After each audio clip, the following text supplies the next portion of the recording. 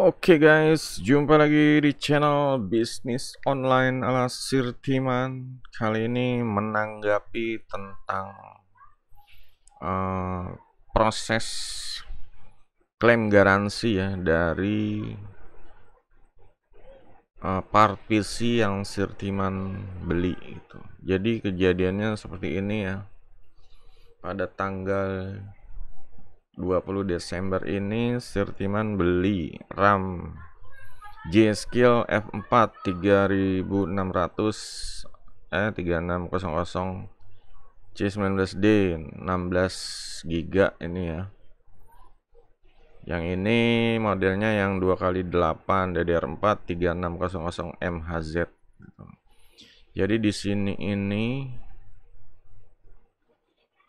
satu ini dapat dua keping dikali 8 giga harganya 879 dan kecep kecepatannya jadi setelah dipakai ya oh, mungkin pertengahan Mei pertengahan Mei ini Sirtiman pas bangun ya mau nyalain komputer tuh nggak nyala gitu dari dari Desember ke Mei ya nggak nyala itu setelah dicek dicabut PGA masih tetap nggak nyala. Dicabut RAM-nya satu ditukar-tukar nggak nyala. Dicabut lagi satu di dipasang. Nah ini nyala gitu. Berarti kan kendalanya nih ada di satu RAM yang ada yang error gitu. Akhirnya setelah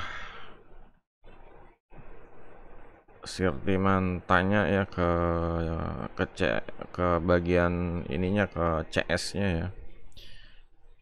Minta klaim garansi gimana caranya ya disuruh kirim dua-duanya RAM-nya ya yang yang satu kan bisa yang satu rusak itu dua-duanya disuruh kirim ke tokonya gitu. tokonya itu di nano komputer nah, setelah dikirim Sirtiman dapat balasan katanya RAM-nya ini udah banyak yang lecet gitu banyak yang ya nggak tau lah dibilangnya seperti itu ya. Sirtiman daripada pusing ya udah balikin aja lah gitu. cuma dia mm, nawarin ini mau di ditanya ke itunya dulu gitu ke distributor resminya dulu gitu. Setelah dikirim ke distributor resmi itu lama lama deh udah hampir sebulan kayak ya tiga mingguan mungkin. Ini nggak ada berita apa-apa akhirnya Sirtiman tanya lagi di chatnya katanya ini nggak bisa ditukar karena udah ya ini ada udah ada baret atau apa gitu. Sirtiman kan daripada rempong udah balikin aja lah cepet-cepet dibalikin gitu minta cepet-cepet. Akhirnya setelah tiga hari dikembaliin diterima cuma ya mungkin yang jadi kendala apa ya Sirtiman terima surat dari distributornya itu. Bisa dilihat nih ada tulisan. Nggak bisa ditukar karena fisiknya terdapat komponen yang disolder dan solder ulang dan bentuk komponen miring ini langsung Sirtiman nggak nggak terima gitu. Bisa dilihat ini nama dari admin service My Club Servindonya Mbak Yanti. Ini di sini ya Sirtiman nggak terima itu ini di Sirtiman anggap ini difitnah itu soalnya dari awal karena ini RAM-nya ini untuk PC keperluan pribadi sehari-hari Sirtiman ya dari awal itu emang ditancap dan udah dipakai itu bukan untuk ditukar-tukar karena emang buat PC pribadi lain lagi buat PC dijual. Lagi pula yang PC dijual ini yang ready itu DDR3 gitu. Nggak ada DDR4 tukar-tukar emang ada DDR4 itu yang RAM yang lama dua kali empat nih dua kali empat. Nah di sini Sirtiman ini dikasih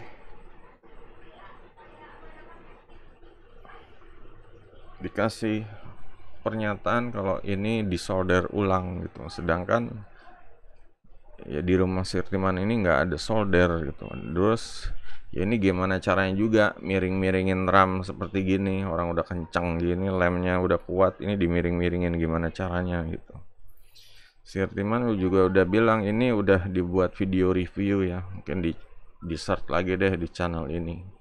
Dari awal emang itu setelah dicek Sirtiman ini emang tonjolan yang dia bilang nih ada cuma ini sama dia tuh di, dianggap disolder ulang gitu. Jadi yang pertanyaannya ini kayaknya nggak tahu lah yang benar yang mana gitu. Yang jelas Sirtiman sih nggak nggak otak atik ya karena ini emang buat pribadi. Beli langsung cepet-cepet mau buat main game buat video short buat direkord juga untuk di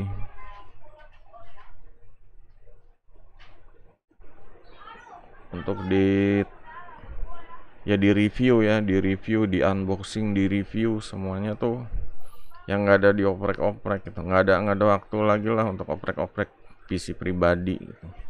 Kalaupun dibersihin juga ya paling itu juga jarang gitu. Dari awal juga jarang. Ini ya karena akhir-akhir ini nggak nggak nyala aja itu jadinya jadi copot itu ditukar sama yang kembali yang ke RAM lama lagi itu downgrade.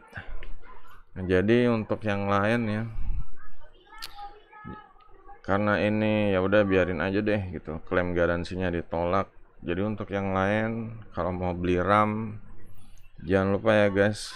Pastiin dengan jelas. Ini nih bukti solderan. Katanya solderan. Ini dari awal juga udah udah ada. Itu dari awal udah ada. Dan itu Sirtiman juga udah buat video reviewnya. Jadi kalau untuk yang lainnya ya buat pelajaran agar kalau beli barang langsung dibuat video review digedein lah di zoom yang jelas untuk masalah oh, bagian yang yang yang ini terutama yang paling yang di bawah-bawah ini ya dari heatsink ke bawah ini. Biar jadi kalau kalau ada ya masalah seperti yang dibilang solder ulang atau miring itu jadi ada buktinya seperti itu.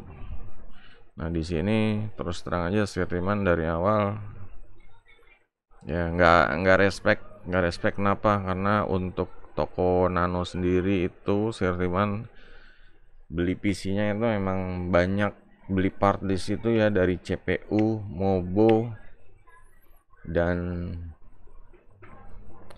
ya CPU coolernya. Kalau untuk casing sama sama PSU nya mungkin ya mungkin ada yang beli di situ juga. Ya kebanyakan partnya beli di situ. Ya karena CS nya itu seharusnya ramah ya pas Sirtiman minta update BIOS diupdatein seperti itu. Nah yang jadi yang sangat disayangkan itu ya pelayanan klaim garansinya gitu. Pertama ya dia ngeceknya tuh ya yang ngada-ngada lah gitu. Setiman bilang ngada-ngada ini gimana caranya gitu loh. Miring-miringin heatsink tuh buat apa? Orang barangnya juga termasuk baru lah gitu. Ya emang dari Desember. Cuma kan dari Desember itu dipasang aja nggak pernah di ya lagian juga seharusnya paham orang orang udah langganan juga terus kalau udah di solder udah di ini ngapain juga di diklaim garansi gitu orang nggak rusak kok.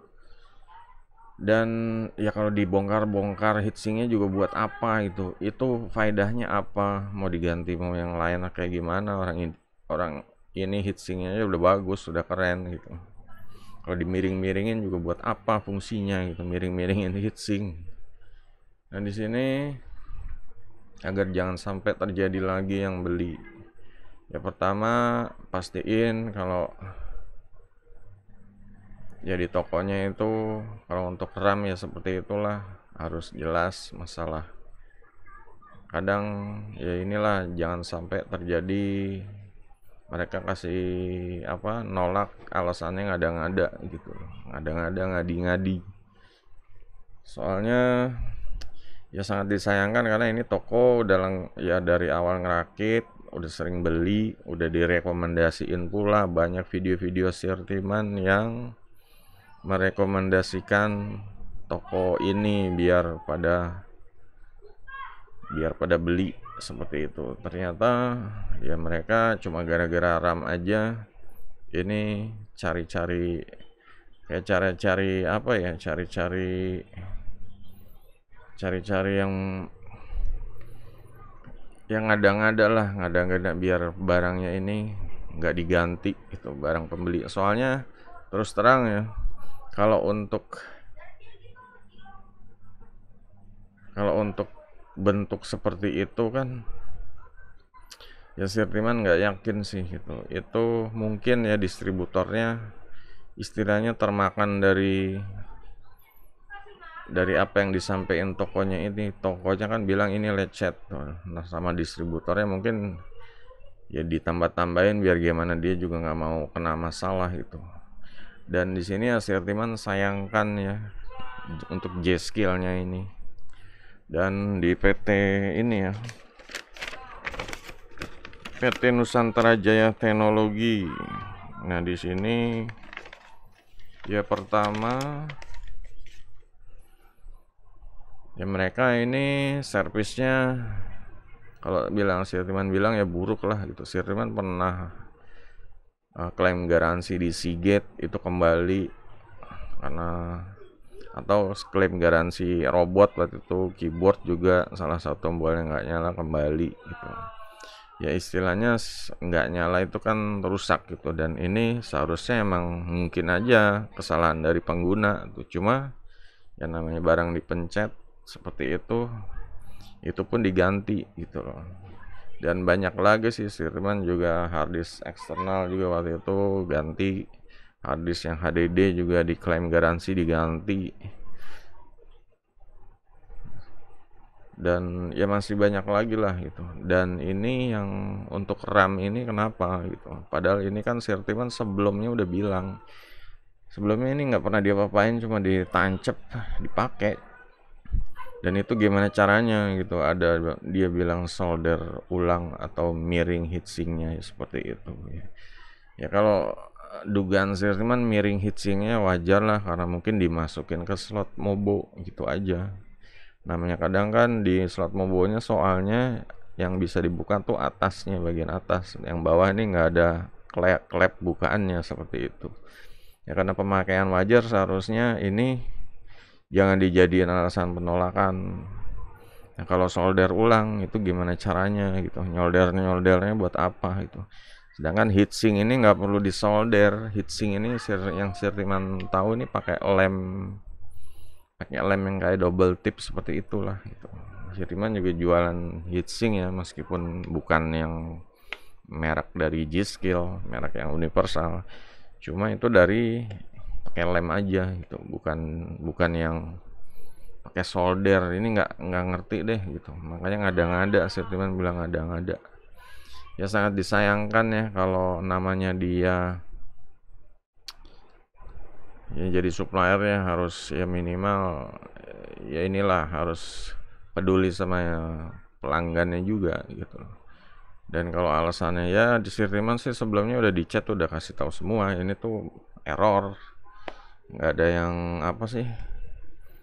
Ya tiba-tiba gitu error gitu. Nggak nggak ada di utak atik apa nggak ada di ya orang dipakai sehari-hari gitu. Nggak. Nggak ada dibongkar-bongkar nggak pernah. Pindah ke mobil lain juga nggak pernah. Soalnya emang A4 cuma punya ini doang gitu. Apa mobil A4 ini aja gitu.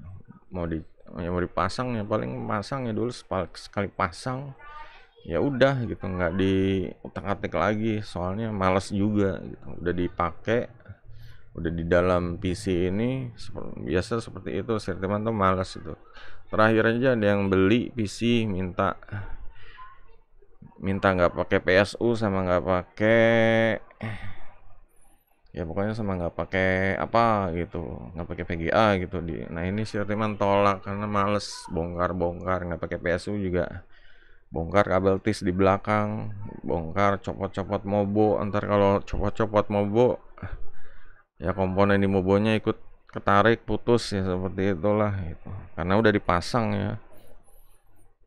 Ya seperti itu udah dipasang dan yang lainnya masih terpasang. Biasanya tuh yang ganggu kan CPU cooler yang gede-gede gitu. Nanti kalau kabel PSU yang di sekitar situ narik nariknya susah itu bisa putus sedangkan di belakang-belakangnya ada kipas ada fan di atasnya seperti itu. Nah di sini ya Sirtiman mau curhat itu aja sih. Untuk yang lain juga jangan sampai kejadian seperti ini ya. Kalau rusak ya benar-benar di videoin dan ya salahnya Sirtiman ya nggak ini. Nggak dari awal nggak ya memang namanya nggak tahu lah. Seharusnya dari awal dipoto foto bolak-balik ya. Cuma namanya nggak tahu lah. Nggak tahu tenis seperti apa yang jelas.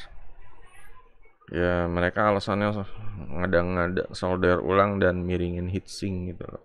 Yang Sirman tahu di rumah Sirman yang nggak ada solder gitu. Dan miringin heatsink tuh yang ngapain juga gitu loh miringin heatsink tuh ngapain juga itu. Paling ya dugaan Sirtiman heatsink kalau dirasa miring itu ya karena pemakaiannya di Mobo ini klepnya cuma satu di atas gitu. Jadi otomatis yang di bawah ini yang nggak kena klep. Jadi kemungkinan miring atau ya gimana lah. Ya gitu aja. Semoga video ini bermanfaat ya guys. Kalau ada yang mau ditanya silahkan. Juga jempolnya jempolnya guys. Jangan lupa. Sampai jumpa di video berikutnya. Goodbye